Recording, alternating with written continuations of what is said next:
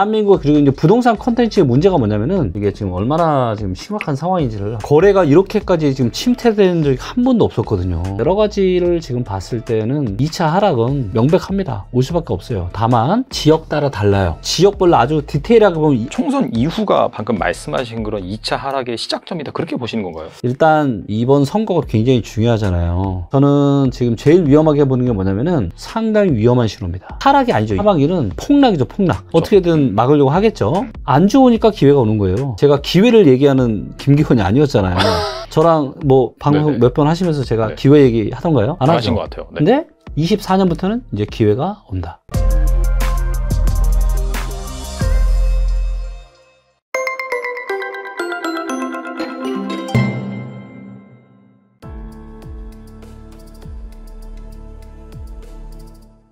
네, 김기현 대표님 모셨습니다. 안녕하세요. 네, 안녕하세요. 네, 대표님 모시고 네, 특히나 이제 데이터를 통해서 정말 객관적으로 잘 검증해 주시기 때문에 네. 현재 지금 감론 음악이 많거든요. 네. 뭐 총선 끝나고 오른다 아니다 빠진다 그래서 이 데이터를 가지고 네, 점검해보는 그런 시간을 가져볼 텐데요. 2023년 부동산 시장이 네. 대표님이 이제 말씀하신 걸 봤는데 네, 2차 하락 가능성이 있고 네, 그리고 완만한 하락보다는 약간 급격한 하락 네, 그런 가능성이 있다 네. 그렇게 말씀하신 걸로 알고 있어요. 네. 그 이유가 무엇인지 좀 궁금하거든요. 이유가 뭐 굉장히 많죠. 너무 너무 많죠. 일단 2차 하락은 거의 이제 필연적이다. 올 수밖에 없다. 어, 네. 네. 어떻게? 2차 하락이 오지 않으면 대한민국 부동산 시장이 살아날 수가 없어요, 지금. 아, 네. 그러니까 지금 거래가 이렇게까지 지금 침체된 적이 한 번도 없었거든요. 아, 근데 거래가 왜 이렇게 없냐? 매수자가 없으니까 거래가 없는 거예요. 그렇죠. 팔라는 사람 많고. 8년은 지금 데이터를 보잖아요. 데이터 말이 나왔으니까 네. 한번 네. 리치고에 들어가서 이게 지금 얼마나 지금 심각한 상황인지를 한번 데이터로 좀 보도록 할게요. 자, 먼저 이제 서울을 한번 보도록 하겠습니다. 자, 서울, 서울 들어갈 거고요. 어, 거래에 들어가면은 여기서 이제 매물량이랑 거래량을 볼 수가 있는데 요 보라색 그래프가 막대 그래프가 이제 거래량이고 파란색 선이 매물이에요. 근데 매물이 지금 거의 8만 건 가까이 됐습니다. 네네. 근데 거래량은 어때요? 거의 없죠? 어. 거의 없어요. 음. 그러니까 지금 8만 건인데 어, 지금 2월 달 1월 달에 지금 얼마 거래됐냐면은 2,300건. 그러니까 3%도 안 돼요. 네. 3%. 그러니까 100채 중에 내놓으려고 지금 100채를 내놨으면 3채가 거래가 안 되는 거예요. 자, 그러면 왜 이렇게 사람이 없냐? 자, 부동산은 공급과 수요 이 두 가지로 가격이 결정이 됩니다. 공급과 수요. 자, 공급을 보면 입주 물량이 있죠? 자, 이것도 공급 아닌가요? 내놓은 매도 물량. 그것도 공급이죠. 공급이죠. 그 다음에 경매 건수 지금 어떻게 되고 있어요? 그것도 상당히 많이 늘어나는 계속 늘고 있죠. 이것도 공급이에요. 또 늘고 있죠. 자, 그 다음 미분양 어때요? 미분양? 미분양도 공급 중에 하나거든요. 그렇죠. 미분양 지금 다시 증가하고 있죠? 그러니까 공급 사이드는 계속 지금 뭔가, 그러니까 입주 물량, 그것도 서울에 24년만 작은 거예요. 그러니까 이거 하나를 가지고 전체를 판단하지 마시라고요. 예, 여러 가지 지금 공급 관련한 데이터들은 계속 안 좋아지고 있어요. 자, 그럼 수요가 남아 있죠? 공급이 안 좋아져도 수요가, 공급 안 좋아지는 거 이상으로 수요가 좋아지면은 부동산 가격이 오를 수 있잖아요. 자, 그럼 수요는 두 가지로 나눌 수가 있습니다. 실수요와 투자 수요. 딱 두 개죠? 이거 이상 있을까요? 없죠? 네, 없죠. 실수요, 투자 수요. 자, 그럼 투자 수요가 지금 있을까요? 거의 뭐 사실 수요 자체가 없어서 네, 네네. 투자 수요는 있을 수가 없죠. 왜냐하면 투자 수요라는 건 집을 여러 채 살 수가 있어야 되는데 지금 취득세 중과를 하고 있잖아요. 예, 많이 사면은 많게는 12.4% 내야 됩니다. 예, 10억짜리 사면요 1억 2천이 넘는 돈을 취득세로 내야 돼요. 당연히 투자 수요가 없겠죠. 자, 그럼 투자 수요는 거의 제로에 가깝다. 그럼 실수요 남았죠. 자, 실수요는 언제 이미 다 썼죠? 실수요는 코로나 시대에 이미 다 쓰지 않았나요? 제가 이거를 실제 명확하게 제가 데이터로 좀 보여드릴게요. 자, 이게 이제 전국의 아파트 매매량, 매매 거래량 차트예요. 자, 이때 어, 19년 10월 달부터 20년 12월, 좀 더 길게 보면은 한 21년 8월까지 역사상 가장 많은 거래량이 터졌죠. 음. 전국에서 이렇게 아- 많은 아파트 거래량 터진 거 없죠? 없네요. 역사적으로 처음. 네, 없어요. 자, 기억나시죠? 2020년, 21년 광풍 불었죠? 네. 자, 왜 그 전에 안 샀을까요? 아니, 14, 15년에 샀으면 바닥에 샀는데 왜 안 사고 기다리다가 이때 샀을까요? 이때 사람들이 왜 아파트를 샀다고 생각하세요? 이때 막 가격이 오르니까 산 거예요. 네, 오르니까 지금이라도 못 사면 영원히 못 살 것 같은 공포에 휩싸여서 또 전문가들이 계속 올라간다. 23년, 24년 입주 물량 없어서 계속 올라간다고 대다수가 외쳤잖아요. 그러니까 아, 지금이라도 올라타야 되겠다라고 하고 이 엄청난 거래가 터진 겁니다. 그러니까 있는 수요, 없는 수요 이때 거의 다 쓴 거예요. 그래서 보시는 것처럼 이거 거래량 보이세요? 이때 22년에 이런 거래량이 대한민국 역사상 한 번도 없었어요. 왜? 이때 다 썼으니까. 그리고 가격은 너무 비싸니까. 근데 이렇게 거래가 없으니까 난리가 나니까 정부에서 뭐란 거예요? 특단의 조치를 취한 거잖아요. 예, 둔촌주공 망하게 생겼으니까 예, 둔촌주공 살리기 1월 3일 부동산 대책 특례 보금자리론 다 써서 거래량 만들었는데 그래봐야 거래량 이거밖에 못 늘어나는 겁니다. 그리고 다시 줄었죠. 어. 그러니까 이때 엄청난 수요 한번 썼죠. 그 다음에 또 없는 수요, 마른 수건 짜듯이 또 특례 보금자리론 썼죠. 이번에 신생아 또 쓰죠. 네. 실수요가 없는 거예요. 써도 요번에는 별로 안 늘어난 거네요. 안 늘어난 거죠. 그러니까 투자 수요는 아예 거의 없고 실수요도 이제 거의 없다. 그러니까 부동산을 사려고 하는 수요 자체가 없는데 공급은 계속 많아지고 하락이 당연히 올 수밖에 없고 만약에 가격이 거품이 없어요. 그럼 안 빠질 수 있는데 지금은 위 지역마다 다른데 제가 사실 하루 종일이라도 제가 방송할 수 있습니다. 지역 다 보면서. 네, 왜냐면 대한민국 그리고 이제 부동산 컨텐츠의 문제가 뭐냐면은 맨날 서울 얘기만 해요. 서울 얘기만 물어봐. 저는 이해는 합니다. 왜냐하면 서울이나 수도권에 사람들이 많이 살고 있고 제일 관심 가는 지역이기 때문에 서울을 주로 컨텐츠 하는 거 이해는 가지만 자 원래 부동산 시장을 데이터로 보잖아요.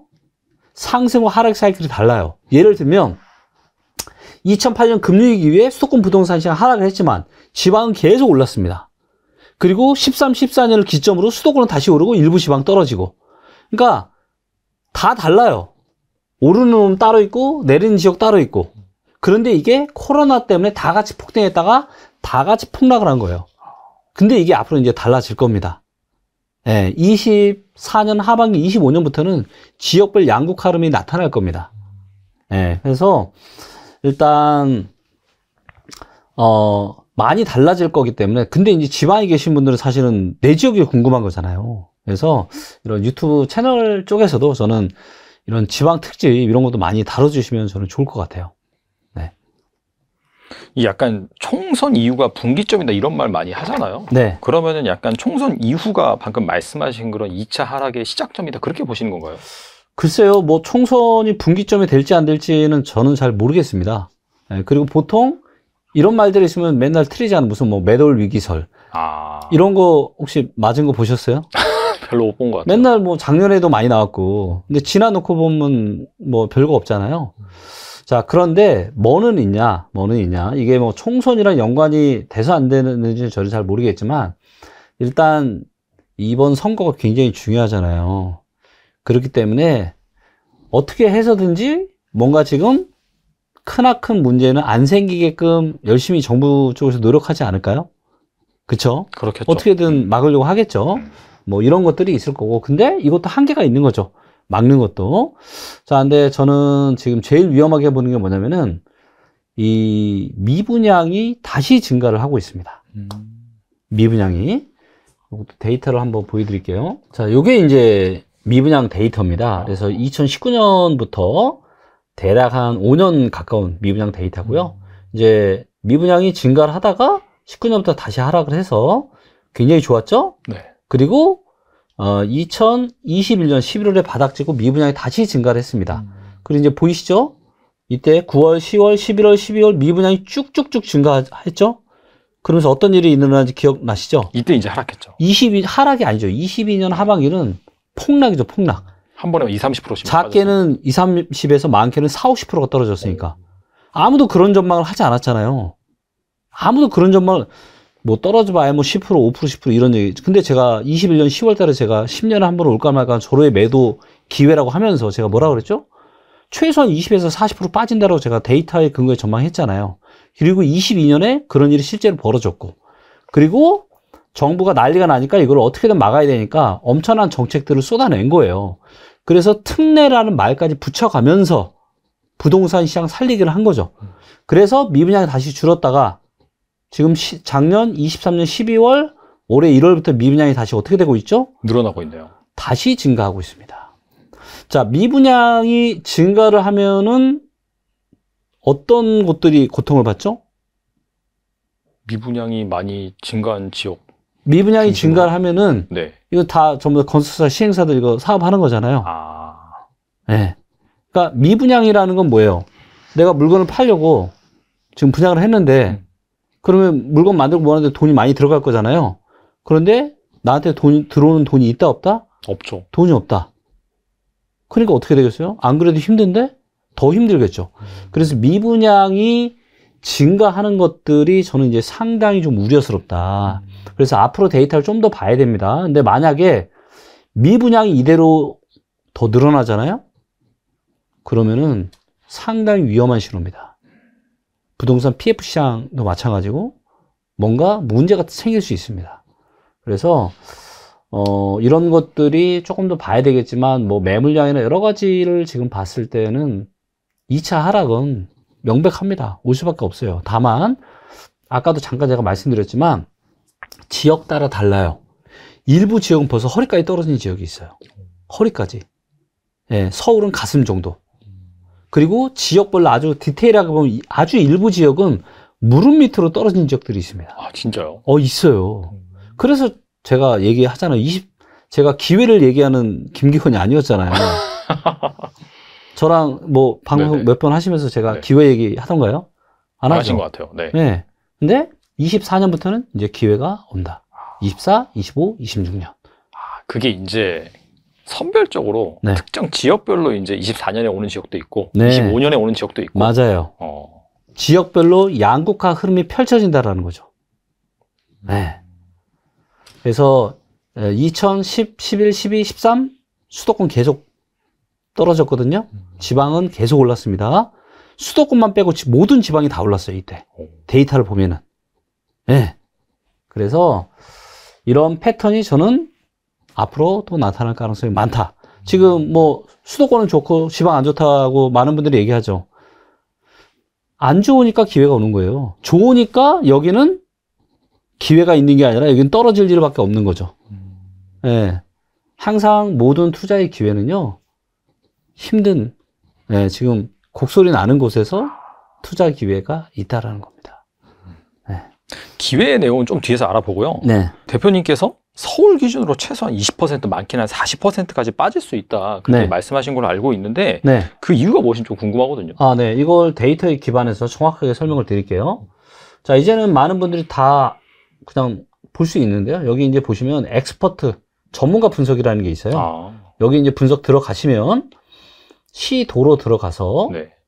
서울을 좀 보겠습니다. 서울이 얼마나 지금 고평가인지. 자, 먼저 소득 대비한 서울의 아파트 가격을 좀 보도록 할게요. 서울이 지금 몇 배냐면요. 21.6입니다. 그러니까 거의 22배인 거예요. 네. 22배. 내 소득을 한 푼도 쓰지 않고 아파트, 서울 아파트를 사려면은 22년 가까이 걸리는 거예요. 음. 자, 그런데 소득의 몇 퍼센트 정도를 주택 원리금 사원에 쓸 수 있으세요? 많아도 40% 아닐까요? 그렇죠. 맞아요. 500 벌면은 뭐 200만 원 정도, 1000만 원 벌면은 400만 원 정도. 40%도 사실은 쓰기 힘들어요. 맞아요. 네, 진짜. 근데 40% 할게요. 자, 그럼 21.6년을 0.4로 나눕니다. 그럼 몇 년인지 아세요? 그러면은, 오, 한 4, 50년 되겠는데요. 어, 제가 수학과 나왔잖아요? 네. 55년이에요. 55년. 자, 그 얘기는 무슨 얘기예요? 35세 때 보통 30대 중반에 집 사기도 힘들지만 요즘은 그냥 집 산다고 칠게요. 30대 중반에. 35집 샀어. 그럼 55년 갚아야 돼. 몇 살이에요? 90이잖아요. 딱 아니, 딱 여러분들 되겠- 90세까지 주택담보대출 갚을 수 있으세요? 그 능력 되세요? 되세요? 어, 누가 그걸 해요? 그러니까 이 코로나 때 이게 28배 갔거든요? 이건 미친 짓 같습니다. 대한민국 에 또다시 이런 코로나 같은 일이 없으면은 두 번 다시 없어요, 이런 일은. 그러니까 이 가, 이때 28배 이 가격은 정상적인 가격이 아닌데 사람들이 전부 다 가스라이팅 당해 있는 거, 어, 우리 아파트가 20억 갔고 30억 갔으니까 또 여기까지 올라갈 거야. 아니라니까요, 여러분들. 진짜 이거 정신 똑바로 차려야 돼요. 자, 역사적인 평균이 얼마냐? 17배 정도 됩니다. 17년 정도 내가 한 푼도 안 쓰고 모으면 집 살 수 있어요. 자, 그럼 이걸 0.4로 나누면 내 소득의 40%를 쓴다고 치면은 몇 년이냐? 40년 정도 됩니다. 자, 그럼 35세 집 사면 몇 살 때 집, 내 집 되는 거예요? 75세 때 되는 거. 네. 75세. 75세까지 주택 담보대출 갚을 수 있으세요? 이것도 만만치가 못하잖아요. 않네. 만만치 않죠. 자, 16.9배. 이것도요, 금리 위기 때 제일 높았을 때가 16.7배입니다. 금리위기 때, 그때도 2006년, 7년, 8년, 불과 얼마 전에 훨씬, 아니, 그때보다는 덜 난리가 났지만, 이때도 수도권, 아, 서울의 아파트 난리 났다고 엄청 올라가고. 맞아요, 맞아요. 근데 이때도 17배가 안 됐다고, 여러분들. 근데 이 수치가 75세까지 갚아야 된다니까? 이거는 정상적인 집값이 아니에요. 거품이 껴있는 겁니다. 자, 그럼 몇 배가 정상이냐? 자, 그럼 몇 배가 저점이냐면요. 2013년 1월달 11.6배, 2013년 9월 11.5배, 뭐, 2014년 7월 11.8배, 12배가 안 돼요. 12배가 안 됩니다. 그러면 이거를 또 0.4로 나누면 몇 년이냐? 30년 정도 됩니다. 자, 그럼 35세 집사, 집사요. 그럼 30년 몇 년이에요? 65세. 이 정도면은 고개가 끄떡이시지 않아요? 이 정도면 그래도 좀 할만하다. 어, 이 정, 아니, 그래도 65세까지 내가 다 갚아서 내 집 되면 그래도 행복한 거 아닐까요? 그렇죠. 그 정도면은 살만한 세상 아닙니까? 결혼도 좀 할만하고? 음. 네. 자, 여러분들, 이걸 보면요. 16.9배가 허리라고 칠게요. 제가 봐도 이것, 이것도 허리가 아닌데, 그냥 허리라고 칠게요. 얘가 바닥. 그럼 지금 어디에요? 가슴. 근데 이거는 우리가 상식적인 코로나 시대 때는 비정상, 이거는 앞으로 우리 대한민국에서 두 번 다시 못 볼 일이에요. 자, 그렇게 따지면 여전히 머리 꼭대기에 있어요, 지금. 금리 위기 때보다 더 높다니까요? 근데 앞으로 이 부동산을 사줄 수 있는 인구가 없어. 없어요. 지금 살 수 있는 수요가 없어요. 물론 또 대세 상승할 겁니다. 하지만 그러기 위해서는 가격의 범위 지금 훨씬 많이 빠질 수밖에 없다니까요. 한번 보세요. 예? 2021년 10월에 고점을 정확하게 알아맞혔던 김기원이 데이터 보고 그때도 제가 말씀드린 거잖아요. 제 개인적인 뇌피셜이나 이런 걸 가지고 한 게 아니라 정확하게 데이터에 근거해서 제가 전망을 했고 이게 시간 지나 보니까 다 맞았고 지금도 제가 2차라고 올 거라고 얘기하고 있죠. 자, 이거를 보면은 그럼 몇 프로 빠져야 되느냐? 숫자적으로 이걸 데이터적으로 다 계산할 수가 있거든요. 최소한 20. 그러니까 17배까지 떨어지면 20% 떨어져야 되는 거고요. 이때까지 떨어지려면요. 거의 반토막 나야 돼요. 그러네요. 반토막. 최악의 경우 여기까지 빠질 수 있다. 그렇게 볼 수 있겠네요. 아니요, 최악의, 최악이 안 와도 돼요. 어. 이, 이만큼 저는 빠질 가능성이 상당히 많다. 예. 그래서 15배 미만 정도, 이 정도에서 내 집 마련하는 건 오케이. 제가 강추합니다. 서울에. 근데 지금 20, 21.6년 걸립니다, 여러분들. 예, 90살까지 갚아야 돼요. 이거 아무도 떠받쳐주지 못합니다, 여러분들. 코로나 환상에서 벗어나세요. 빨리 이 환상에서 벗어나지 못하면은 큰일 날 수 있습니다, 여러분들. 지금 이 고점의 시기에 20년, 21년에도 전문가들이 다 지금 집 사라, 어, 청년들이 집 사라, 부동산 사라 해가지고 지금 그때 대출 껴서 집 산 사람들은요, 지금 난리도 아니에요. 인생이 완전 망가졌습니다. 그때 뭐 지식산업센터 사고, 어? 생활의 숙박시설 또 분양받고, 어? 상가 분양받고, 이런 사람들이 지금 엄청난 지금 피해를 보고 있다고 지금. 인생이 완전 말도 아니에요. 예, 네, 너무너무 심각합니다, 여러분들. 그래서 정말 긴장해야 된다. 단, 자, 제가 어, 예를 들면 제가 충남을 한번 보여드릴게요. 자, 서울은 이런데 지역마다 달라요. 제가 또 너무 안 좋은 얘기만 함- 하니까 또 충격받으실 수 있으시니까 자, 지방을 볼게요. 자, 이 소득 대면 아파트 가격을 보겠습니다. 자, 충남은 어디까지 떨어졌어요, 지금? 4.1이요. 네. 4. 와, 이게 사. 그렇게 차이가 많이 나는구나. 평균이 삽니다. 오. 그러면 평균가 허리까지 떨어졌죠. 음. 허리까지 떨어졌습니다. 2000년대 이거는 너무 낮은 거고 이때 저점이 3.7이에요. 그럼 4.1에 3.7이면 몇 프로 차이예요? 10%. 10% 정도. 10%. 여기서 가격이 10%만 떨어져도 충남은 거의 바닥권이라고요, 여러분들.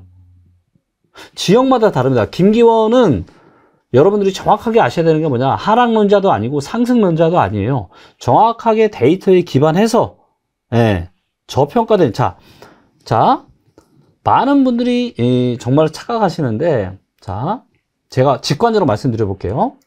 아, 주택 구입 부담 지수가 얼마인지 보여드릴 텐데, 주택 구입 부담 지수가 60입니다. 자, 이 얘기는 직관적으로 말씀을 한 달에 60만 원만 내면 집을 살 수 있는 거예요. 자, 제가 말씀드려 볼게요. 서울에 지금 집 사실 수 있어요? 못 사죠? 네. 자, 그런데 한 달에 내가 150만 원 내면은 네. 살 수 있어요. 네. 사시겠어요? 안 사시겠어요? 150 정도면 살 만할 것 같은데요. 살 만한 게 아니라 무조건 사야죠. 그쵸. 자, 자, 여, 이 음. 대화에서 의미 있는 건 뭐예요? 자, 없던 수요가 생기잖아요. 아. 싸지면. 음. 그쵸? 예. 네, 비싸면 안 생깁니다. 근데 지방은 어때요? 자, 충남은 지금 60밖에 안 돼요. 서울은 주택구입 부담 지수 얼마인지 알아요? 몰라요. 300이 넘어요. 어떻게 삽니까? 거품이 너무 많이 껴 있다고요. 자, 그럼 이런 얘기 하죠. 아니, 대표님. 아니, 인구와 사람이 몰리는 수도권이 올라가지, 이제 인구도 줄어드는데 지방이 올라갈까요? 그러게요. 딱 그런 질문 나올 것 같은데. 네. 자, 제가 데이터로 보여드릴게요. 봅시다. 자, 여기 리치고에 여기 들어가서, 랭킹 들어가서, 먼저 일자리부터 볼게요. 일자리. 왜냐면 일자리가 굉장히 중요하거든요. 자, 최근 1년만 보도록 하겠습니다.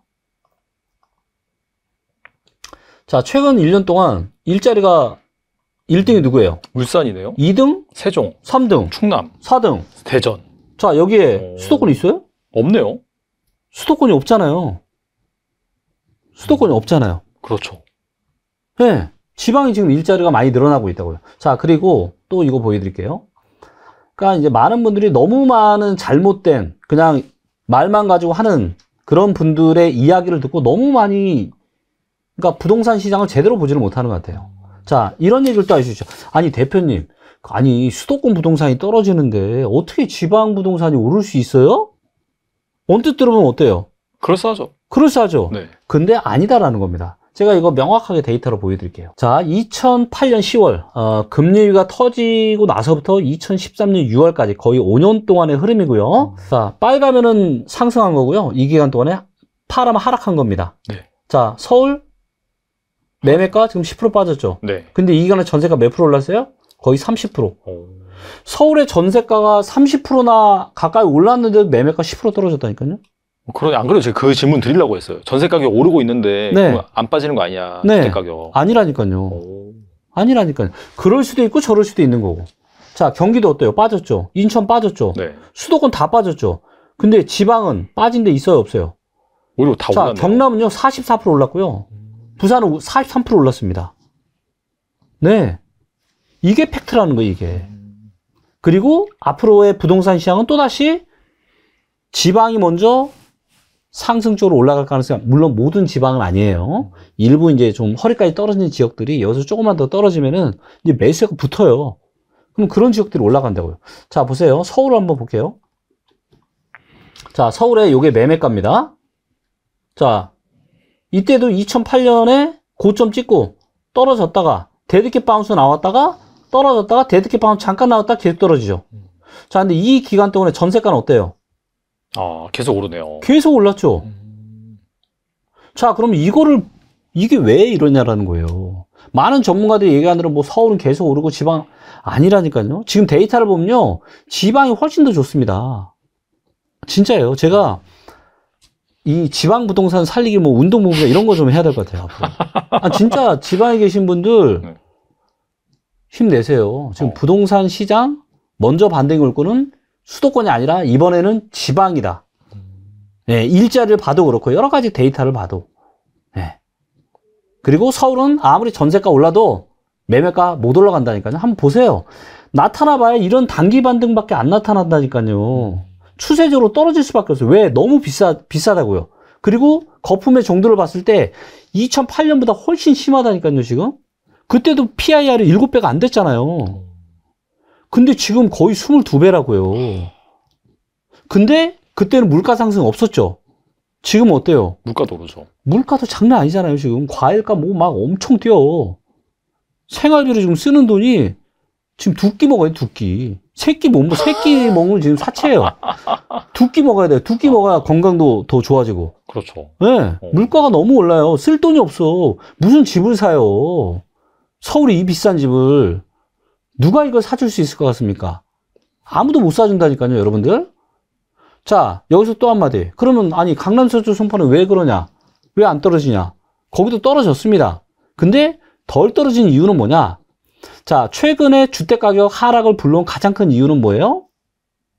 금리 폭등, 대출금리 이자 부담. 아, 나는 한 달에 100만 원 낼 줄, 될 줄 알았는데 이게 150, 200으로 늘어나니까 너무 부담스럽잖아요. 못 버티고 이것들이 물건으로 나오는 겁니다. 음. 매물로. 자, 그런데 하필이면은 코로나 시기에 10억 이상 아파트 대출 해줬어요, 안 해줬어요?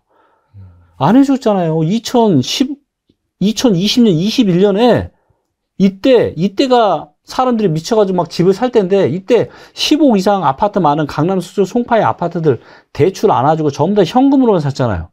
현금으로 샀으니까 떨어지든 말든 급해요, 안 급해요? 안 급하죠. 안 급해요. 안 급합니다. 그러니까 덜 떨어지는 것처럼 보이는데 시간 지나 보세요. 어떻게 되나? 음. 예? 누군가가 얘기하는 것처럼 강남, 순초, 송파가 계속 오를지 데이터를 보는 김기현 얘기대로 하락할지 한번 보시죠. 자, 그리고 얘가 진짜로 올라간다. 그러면은 경매가 경매가 어떻게 돼야 돼요? 줄어들어야겠죠. 경매가 없어야죠. 자, 여기 경매도 이제는 리치고에 들어가면 다 보실 수가 있는데 아, 아파트만 보겠습니다. 그래서 아파트만 선택을 할 거고요. 자, 보이세요?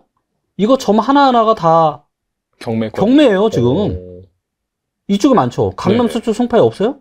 있네요. 있어요. 만약에 이때 19년, 20년, 21년을 많은 15 이상짜리도 대출해 줬잖아요. 이 경매 건수가 어마무시했을 거예요. 그리고 하락이 훨씬 더 심했을 겁니다. 예. 정말로 강남 서초 송파에 계신 분들이 이전 정부에 정말 감사하셔야 돼요. 대출을 안 해줘서 덜 떨어진 겁니다. 하지만 모든 건 본질적인 가치로 회귀하게 되어 있다. 네. 자, 보여드릴게요. 만약에 강남 수조 송파 계속 올라가면은, 자, 매물이 늘까요? 줄까요? 매물이 줄여야 되겠죠. 자, 강남 볼게요. 거래에 들어가시면, 이 파란색이 매물이고, 이 보라색의 막대 그래프가 거래 건수입니다. 자, 지금 매물 어때요? 사상 최대예요. 그렇죠. 6,930건, 거의 7,000건이에요. 지금 1월 달에 얼마 거래됐어요? 152건. 네, 6,000건이 훨씬 넘어, 거의 7,000건인데 150건 거래된 거예요. 소초 볼까요? 소초도 거래 보시면 이 보세요. 이 파란색 매물량이 계속 늘잖아요. 여기도 6,500건이에요, 거의. 근데 거래가 1월 달에 100건도 안 됐어. 야, 그럼 퍼센티지로 따지면 2%도 안 되는 거예요, 여러분들. 아니, 도대체 누가 강남, 서초, 송파 계속 올라간다고 가스라이팅은 아니라니까요. 아닙니다. 지금 못 팔아서 안달이에요. 못 팔아서 안달입니다. 근데 살 사람이 없으니까 이렇게 거래량이 작은 겁니다. 네. 그래서 여러분들, 어, 부동산에 대한 이런 의사결정 너무 중요하잖아요. 그리고 이런 단기적으로 뭐 보고 이런 게 중요한 게 아니고요. 큰 맥락을 봐야 됩니다. 어? 20년, 21년에 그 고점에 부동산 대출 껴서 사가지고 지금 인생 망친 사람들이 한둘이 아니에요. 제 주변에도 몇 명이, 제가 그렇게 뜯어말겨도 했어요, 그 사람들이. 올라가는 걸 못 버티는 거야, 이걸. 어? 그래서 뭐 지상 막 분양받고, 어? 생활 수박 분양받고, 근데 이거를 중간에 떨굴 수도 없고. 그냥 빚만 남는 거예요. 거지 되는 겁니다, 진짜. 한순간에. 아니, 이렇게나 중요한 의사결정을 여러분들 그냥 대충 하실 거예요? 안 되잖아, 이제. 예? 그래서 제가 이런 부동산 앱을 만드는 겁니다. 진짜. 예. 이제 다 데이터로 다 볼 수 있으니까, 어디라도. 그래서 이런 의사결정을 정말 이제는 많은 기업들이 이제는 리치고를 정말 많이 찾아주고 있어요. 웬만한 대형 건설사 다 쓰고 있습니다, 지금. 기업용 시스템을 별도로. 그리고 너무나도 감사하게도 여러분들이 너무 응원을 많이 해주셔서 지금 앱 출시된 지 3년 반이 조금 안 됐는데 벌써 지금 100만 명 사용자가 아, 돌파했어요. 진짜요? 와, 대단하네요. 네, 그래서 지금 한 달에 100만 명 이상의 많은 분들이 이야. 저희 리치고를 이용을 해주고 계세요. 야, 그 부동산 시장의 그 정보의 비대칭 그 완전히 좀 많이 해결되겠네요. 완전히 예, 해소하고 싶어서 하는 거예요. 진짜. 그래서 어, 부동산 슈퍼 앱으로 가고 있는 겁니다. 그래서 아파트, 오피스텔, 토지, 건물, 경매까지 모든 걸 다, 다 알을 수 있는 부동산 슈퍼 앱으로 지금 진화를 하고 있는 거죠. 어, 부동산 앱 중에서는 거의 최초의 지금 시도라고 보시면 됩니다. 그럼에도 불구하고 약간 좀 상승할 수 있다라고 이제 주장하시는 의견 네. 중에서 제가 몇 가지를 한번 들어보면은 네. 일단 금리 인하 시점이 미국에서 한 6월 정도로 네. 지금 얘기가 되고 있잖아요. 네.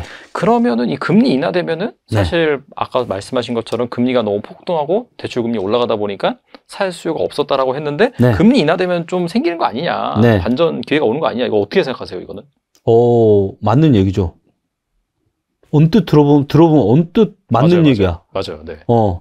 자, 그러면 제가 그렇게 주장하시는 분들한테 제가 여쭤보고 싶습니다.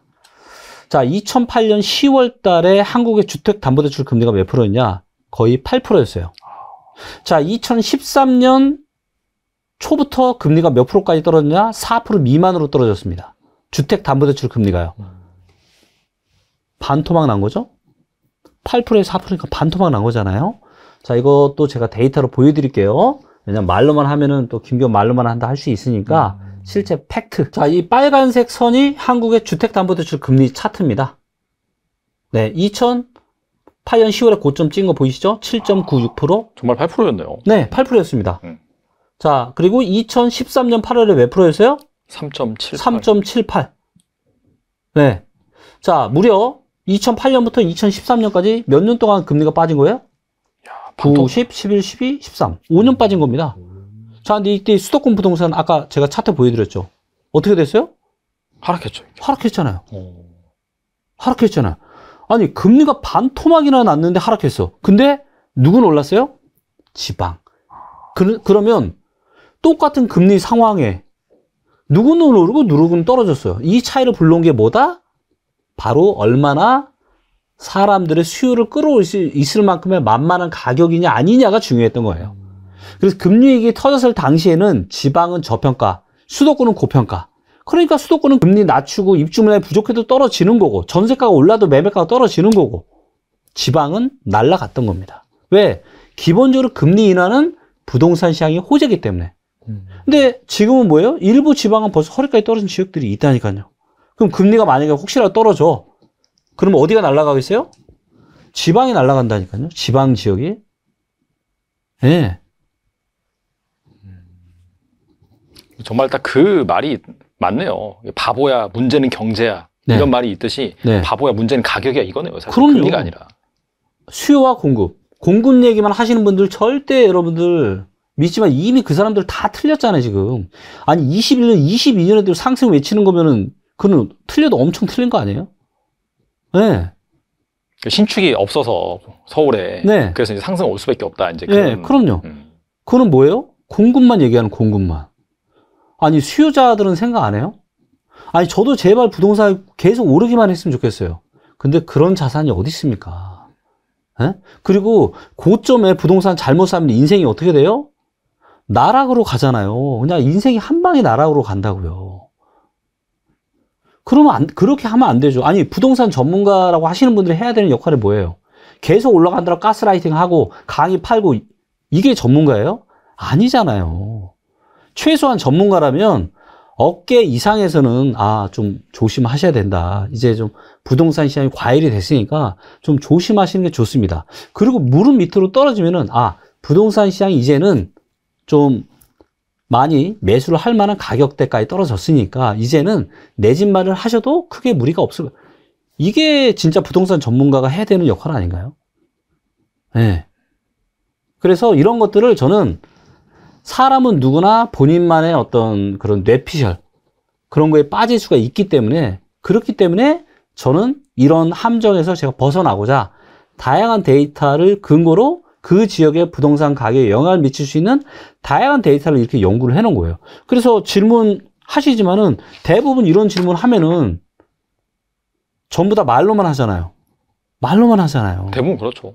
그렇죠. 왜? 이런, 이런 시스템을 만드는데 저희가 지난, 제가 창업을 한 지가 지금 5년 됐는데 얼마, 100억 썼어요, 100억. 이거 시스템 만드는데. 이야. 근데 이거 누가 해요, 이거? 저도 못하죠. 많은 지금 은행이나 벤처 캐피탈이나 이런 회사에서 가능성을 보고 투자를 해줬기 때문에 이런 시스템을 만들 수가 있었던 거고. 그리고 이런 시스템이 있기 때문에 시장을 객관적으로 바라볼 수 있었던 거고. 네. 그래서 이제는 우리가 챗 GPT 시대에 살면서 이제 완전 엄청난 기술의 시대에 살고 있잖아요. 근데 왜 가장 중요한 부동산에 대해서만 여전히 입으로만 가지고 떠들고 하냐라는 거죠. 이거 이제 벗어나야죠. 더 이상 이제 그런 사람들에게 끌려다니면 안 되죠. 예? 이제는 명확하게 데이터에 근거해서 합리적으로 기업도 의사결정하고 개인들도 의사결정하고 그래서 저는 데이터가 대한민국 부동산 시장에 어떤 영향을 미칠 거냐 이런 급등락을 가져왔던 옛날 부동산 시장이 아니라 완만해지는 거죠. 특히나 이제 모 건설사 같은 경우는 저희의 데이터를 굉장히 활용을 해서 지금 사업 검토나 이런 것들을 다 하고 있는데 자, 이 얘기는 무슨 얘기냐면 기업들은 공급자잖아요. 공급 사이드잖아요. 그럼 공급 사이드가 데이터를 보고 정교하게 한다는 얘기는 무슨 얘기예요? 입주 물량이 많이 부족하거나 입주 폭탄이 생길 일이 별로 없이 공급을 적정하게 할 수가 있게 되겠죠. 그렇겠네요. 그럼 공급이 적정하게 되면 이 공급 때문에 가격이 크게 흔들릴 일이 없겠죠. 인천이나 대구가 왜 폭락을 했겠습니까? 40% 50%씩 왜 폭락을 했겠어요? 입주 물량이 너무 과다하니까 안 그래도 수요가 확 죽어서 가격이 떨어질 수밖에 없는데 공급받이 너무 많아. 그러니까 그 난리가 났던 거잖아요. 근데 많은 기업들이나 특히 정부에서 이런 것들을 데이터에 기반해서 왜 인허가를 그렇게 내주냐고요. 데이터 보고 아 지금 인천에 대구에 아 평균 입주 물량 이 정도고 아 그러니까 한 이 정도가 적정하니까 더 이상은 허가 안 해줘 이렇게 돼야죠. 저는 그럴 날이 올 거라고 봅니다. 그렇게 되면은 훨씬 더 부동산 시장의 안정화에 저는 데이터가 기여를 할 거고 그러면 개인들도 어떻게 했어요? 훨씬 좋겠죠. 훨씬 좋겠죠. 고점에 분양받고 고점에 사서 폐가망신하는 일들 은 없을 거 아니에요. 그쵸? 이건 좀 개별 이슈긴 한데 GTX 기대감이 네. 좀 크잖아요. 네. 그래서 보니까 신문 보니까 동탄에서 동탄역 롯데캐슬이 22억 원에 팔리며 신고가를 경신했다. 네. 약간 이런 뉴스들이 사실상 네. 어 진짜 상승이 맞나? 네. 이렇게 이제 생각하게 만들잖아요. 네. 그래서 약간 이 GTS 수혜 지역 같은 경우에는 또 아까 말씀하신 것처럼 약간 지역별로 다르다라고 말씀하셨는데 이쪽 상황은 좀 어떤지 좀 궁금하거든요. 아, 네. 일단 뭐 한번 볼까요? 자, 이제 거기가 어떤 아파트냐. 신고가를 친 아파트가. 여기 이제 동탄역 보이시죠? 네. 동탄역 바로 앞에 여기 이제 보시면 롯데백화점이 있어요. 예, 여기에 동탄역 롯데캐슬이라고 있습니다. 바로 앞이죠? 그러네요. 자, 눌러볼게요. 자, 이게 신고가 나왔던 아파트의 평형대가 이제 41평짜리입니다. 아. 자, 얘가 보면 어때요?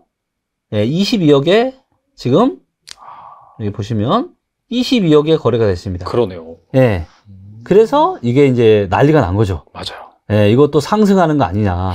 다음 이거를 이제 매물을 좀 보겠습니다. 네. 자, 일단 자, 이 평형대는요. 전체 세대 수에서 대략 282세대 정도 있는 네, 평형대고요. 현재 매물이 11개 정도 나와 있습니다. 근데 매물이 최저 호가가 지금 21억, 최대 호가가 지금 23억까지. 그래서 어, 상당히 지금 네, 엄청 고가죠. 41평이 22억이니까.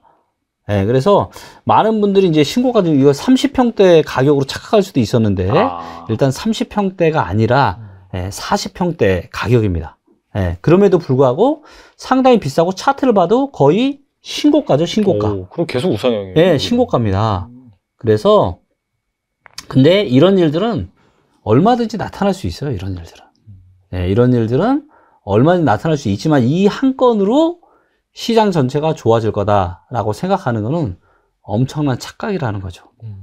자, 그리고 제가 GTX에 대해서도 제가 말씀을 좀 드리고 싶은데, 네. 자, GTX가 진짜 그렇게 엄청난 호재일까요? 어떻게 생각하세요? 뭐 일반적으로는 다 호재라고 하니까 네. 어, 호재구나. 네. 뭐 이거 깔리면 서울까지 뭐 강남까지 뭐 한 시간이면 간다. 약간 뭐 네. 그런. 여기서 이제. 호재를 네. 한번 눌러 보도록 하겠고요. 그래서 지하철 누르면 이렇게 이제 호재가 나오죠. 아. 그래서 이렇게 네, 이렇게 음. 네, 이렇게 해서 지금 동탄역에서부터 여기 이제 지역은 하니까 노선만 보기를 할게요. 네, 지역핀도 없애버리고 그럼 이제 깔끔하게 호재만 딱 나오죠. 오. 어디에 지하철역 들어서는지 이게 이제 다 보이는데 이제 보시면 얘가 지금 이게 쭉 올라오죠. 네. 자 그런데 어 저는 GTX가 그렇게 엄청난 호재인 것 같지는 않아요. 그나마 A는 괜찮죠. 음. GTX A는. 근데 지금 가장 중요한 삼성역이 어때요? 삼성역 갈 수 있나요? 아직도 한창 좀. 못 가죠. 네. 28년? 27년, 28년은 돼야 지금 될까 말까 하죠. 예, 왜냐면 지금 삼성역이 엄청난 지금, 어, 뭐, 개발 계획이 많기 때문에 계속 지금 공사를 하고 있어서 불안불안하니까 이런 것들을 탄탄하게 하려고 늦춰지고 있는데, 자, 근데 지금 이게 이제 저는 인구가 이미 줄어들고 있잖아요. 아. 줄어들고 있잖아요. 자, 인구가 줄어든다라는 거는 그리고 이제 기술이 발달을 하고 있잖아요. 저는 당장 5년, 10년을 얘기하는 게 아니라 저는 10년 이후를 바라보고 얘기하는 거예요. 왜? 부동산 시장은 길게 봐야 되기 때문에 특히나 이런 국가의 돈이 엄청나게 들어가는 이런 것들은 길게 봐야죠. 그렇죠. 자, 근데 인구가 지금도 인구 줄어드는 걸 보여드릴게요. 자, 요게 이제 대한민국 인구 차트예요. 자, 인구가 올라오던 속도보다 인구가 내려가는 속도가 어때요? 더 빠른 것 같은데요. 굉장히 가파르죠. 오. 자, 10년 뒤에는 과연 인구가 얼마나 돼 있을까요? 음. 자, 그런데, 그리고, 나이를 보세요. 나이. 야, 자, 요게 이제 2010년대만 하더라도 20대 이하, 뭐 40대, 30대, 이 사람들이 줄이었어요. 음. 어, 60대, 70대 별로 없었습니다. 근데 60대, 70대 이상이 어때요? 계속 올라오고 있죠. 완전 골든 크로스인데요, 이거 진짜. 10, 예, 맞아요. 골든 크로스죠. 자, 10년 지나면은 뭐예요? 이제는 60대 이상의 노인과 훨씬 많아집니다. 자, 노인 인구가 GTX 타고 그렇게 돌아다닐 일이 많을까요? GTX를 타려면 어떻게 해야 돼요? GTX 여기 있는 데까지 뭔가의 교통수단을 타고 GTX 가야죠. GTX 가서 엘리베이터 타고 지하 깊이 내려가야죠. 거기서 또 GTX 올 때까지 기다려야죠. 그리고 또 GTX 타고 이동해서 거기서 또 엘리베이터 타고 올라가서 또 최종 목적지까지 또 가야 돼요. 거동이 불편한 60대, 70대 이상이 GTX를 그렇게 많이 이용을 할까요? 거의 뭐 출퇴근하려고 사실 가는 수요가 많겠죠. 제가 보기에는? GTX는 B부터는 하면 안 돼요. 이거 엄청, 이거 10년 뒤만 바라봐도 이거 이용할 사람이 없는데 엄청난 적자가 날 겁니다, 이거. 네. 그래서 저는 GTX가 호자, 그리고 또 10년 지나면 어때요? 자율주행차. 아, 지금도 테슬라 혹시 타보셨어요? 운전 안 하고 타보곤 했어요. 네. 그냥 반자동이잖아요, 거의. 뭐 테슬라 보면 대- 제네시스도 그냥 거의 반자동이에요, 고속도로에서는. 테슬라는 더 기술이 뛰어나고. 자, 벌써도 이런데 10년 뒤면은요, 아마 자율주행차 이제 훨씬 좋아질 겁니다. 자, 그러면 예를 들어서 60대 이제 노인이 됐다고 보세요. 그럼 뭐 어디 네네. 관절도 좀 삐걱삐걱하고 좀 불편하잖아요. 그러면 앱으로 지금 자율주행차 불러서 타서 내가 원하는 목적지까지 가시겠어요? 아니면은 굳이 내가 GTX 또 갔다가 대중교통 타고 갔다가 내려갔다가 또 걸어서 어떻게 하시겠어요? 아, 당연히 이제 편한 게 낫죠. 편한 게 훨씬 낫죠. 지금도 사실 뭐 지하철 출퇴근 시간에 타면은 막 거기서 진 다 빠지는데. 그럼요. 그러니까 여러분들 GTX가 왜 호재인지 저는 잘 모르겠어요. 아니 냉정하게 생각을 해보시라고. 제가 혹시라도 제가 이야기하는 이 근거가 잘못된 게 있으시면 이야기를 저는 좀 해주셨으면 좋겠어요. 저는 이해가 안 돼서 그래요. 예. 아니, 인구가 이렇게 고령화가 되고, 지금 당장을 얘기하는 게 아니에요, 제가. 이런 GTX 같은 철도 계획은 뭐 1년, 2년 바라보고 하는 게 아니잖아요. 10년, 20년, 30년 이런 국가의 대계를 바라보고 엄청난 돈이 지금 들어가는 건데, 인구가 이렇게 고령화되고, 인구는 줄어들고, 자율주행 기술은 좋아져서, 그냥 앱으로 불러서 자율주행 차 타고 돌아다닐 가능성이 많은데, 굳이 번거롭게 GTX 이용한다? 이거는 그냥 정치인들이 그냥 그 지역 주민들한테 이게 호재가 된다라고 하니까 아, 그래서 그냥 무슨 타당성 검토도 제대로 하지도 않고 예타 면제하고 뭐 이거는 말도 안 되는 거죠 지금. 예, 그래서 GTX는 저는 단기적으로는 호재. 하지만 중장기적으로 길게 봤을 때는 이거는 애물단지가 될 가능성이 저는 아주 많다고 봅니다.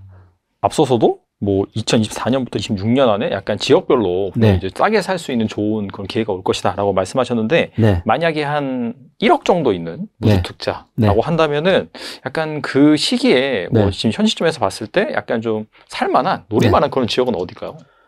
뭐 그럴 만한 지역은 뭐 크게 봤을 때는 충남, 음.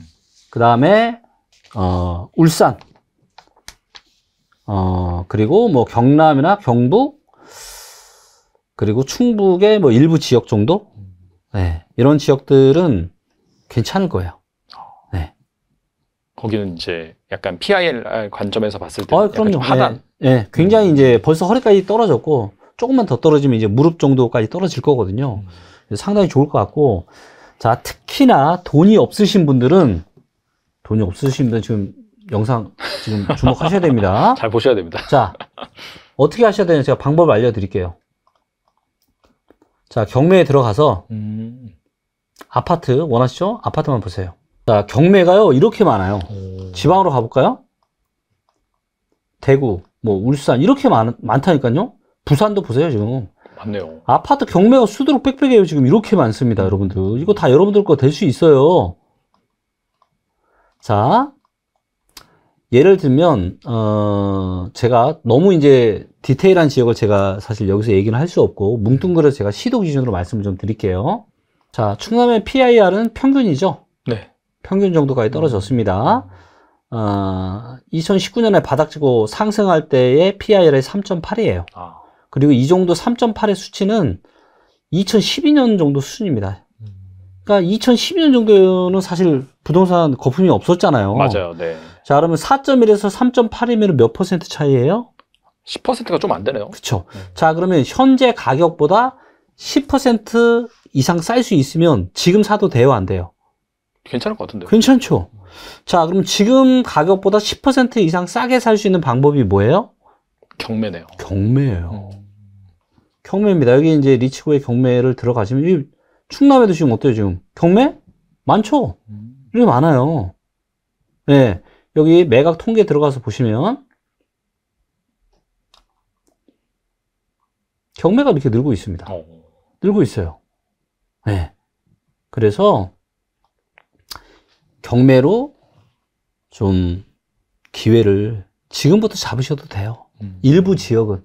그래서 충남, 뭐, 경남, 경북 일부 지역, 울산, 뭐 이런 데는 이미 허리까지 떨어졌고, 데이터로 봤을 때 하락폭이 그렇게 크지 않을 거예요. 한 10에서 15%? 혹시라도 뭐 경제적인 충격이 온다면 20% 이상 떨어질 수 있겠지만, 그거는 가격을 금방 회복을 할 거예요. 자, 그러면 지금 가격보다 10에서 15% 싸게 사면 되잖아요. 그게 뭐다? 경매다. 근데 경매는 물건이 없으면은 내가 할 수가 없는데 지금은 경매가 계속 늘고 있기 때문에 경매로 내 집 마련 하시는 걸 추천합니다. 음. 자, 그럼 또 이런 얘기 하죠. 아니, 저는 경매를 모르는데요. 어, 공부하셔. 이런 얘기 하시면 안 됩니다. 뭐, 아니, 인생을 도대체 뭐 그냥 꽁으로 드시겠다는 거예요. 뭐예요, 지금? 예? 아니, 이 정도 해줬으면 본인이 알아서 해야죠. 아, 해야죠. 어? 네. 경매 책도 보시고, 음. 경매 강의도 들으시고, 하시면 할 수 있습니다. 여러분들이 생각하는 것보다 그렇게 어렵지 않아요. 경매가 어려운 경매도 있죠. 권리관계 복잡하고, 아, 이런 거 우린 필요 없어. 음. 쉬운 경매, 경매, 권리관계 복잡하지 않은 경매 하면 됩니다. 예. 그래서 이제 이런 기회를 잡을 수 있기 때문에 리치고에도 경매 기록을 또 넣어 놓은 거예요. 음. 여기 들어가면 다 볼 수 있습니다. 어렵지 않아요. 예. 그래서 경매로 내 집 마련하는 것부터는 이미 이제 저는 지금부터 시작이 됐다. 아 그리고 이제 그 대부분 사람들이 네. 사실 그럼에도 불구하고 약간 서울은 못 살더라도 뭐 직장이라든지 등등 여러 가지 이유로 수도권엔 좀 살고 싶어 하잖아요. 아까 제가 실적 봤는데 네, PIR 봤을 때 서울은 상당히 높은데 네, 2위가 경기권이긴 했거든요. 네, 근데 그게 9.8 정도 되더라고요. 네, 그래서 경기는 지금 어떤지 약간 이쪽에 좀 집을 사려고 하신 분들 좀 있을 것 같아가지고 네, 네. 보여주시면 좋을 것 같아요. 아, 경기도요? 네네. 알겠습니다.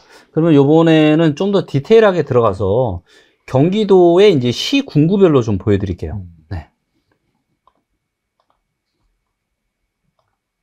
혹시 경기도에서 보고 싶으신 데 있으세요? 관심이 있으신데? 사람들이 어디에 관심 많아, 많아 있으시죠? 뭐 대부분은 뭐 성남, 아. 안양, 부천, 일산, 음... 뭐 하남 이런 데가 이제 경기도의 이제 좀 대장 지역이라고 볼 수가 있으니까 약간 일기 신도시 쪽 그쪽 일기 신도시 쪽? 네네. 예. 어디로 가볼까요? 요게 이제 고양시 덕양구의 이제 주택구입 부담 지수입니다. 자, 이제 보시는 것처럼 역사적인 평균이 122인데 여전히 이제 141 정도죠. 아 서울이랑 비슷하네요. 꽤 높죠. 음. 네, 서울보다는 조금 낮죠, 그래도. 예, 근데 얘가 저점이 어, 85, 100이 안 돼요. 야. 예.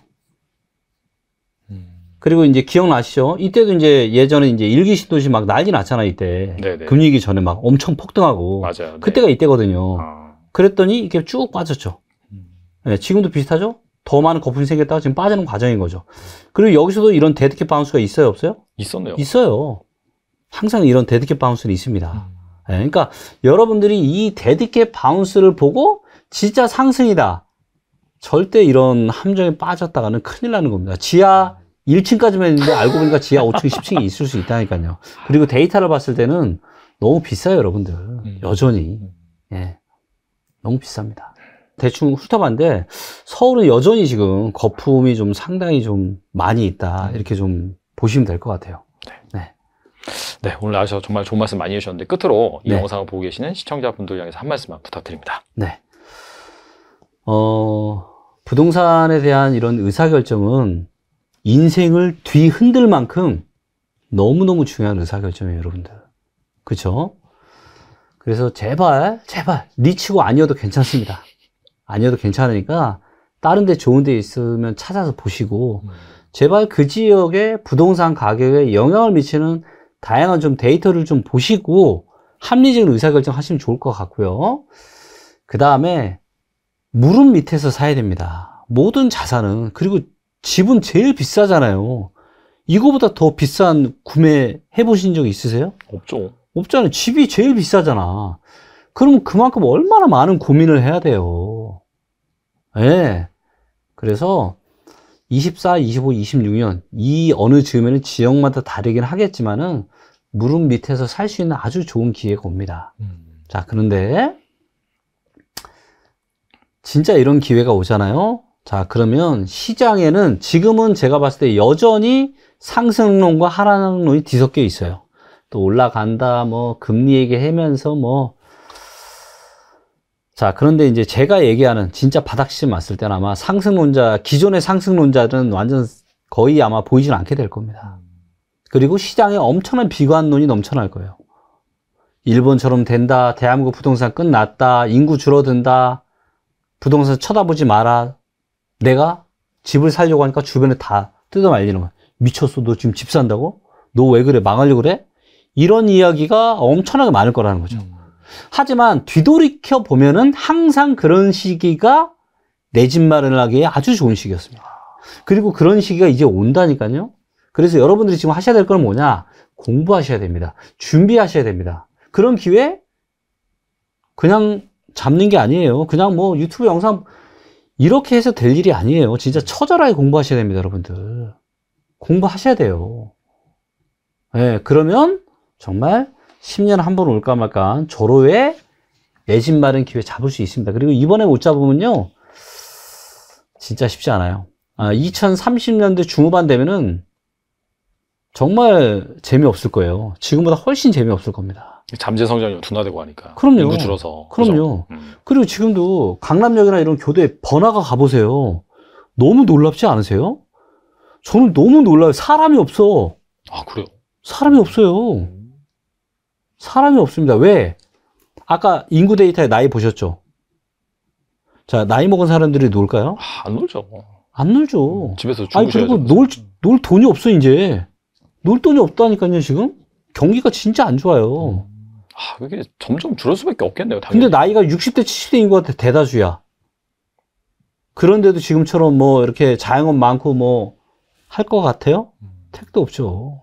쉽지 않습니다, 여러분들. 그래서 이번이 예, 이제 바닥 찍고 대세 상승이 머지않아 이제 올 텐데 요번 2차 하락 이후에 이때가 진짜 부동산으로 좀 그래도 크게 내가 수익을 볼 수 있는 거의 저는 마지막 기회가 될 가능성이 높다고 생각합니다. 물론 그 이후에 기회는 있겠지만 그래서 이번에 앞으로 다가올 기회 꼭 좀 잡으셨으면 좋겠고요. 데이터 기반으로 잡으셨으면 좋겠습니다.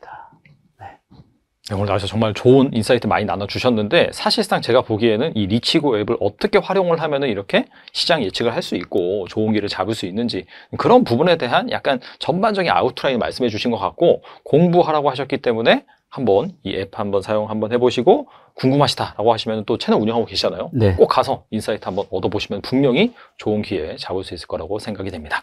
네, 지금까지 김기현 대표님 나오셔서 감사합니다. 네, 고맙습니다.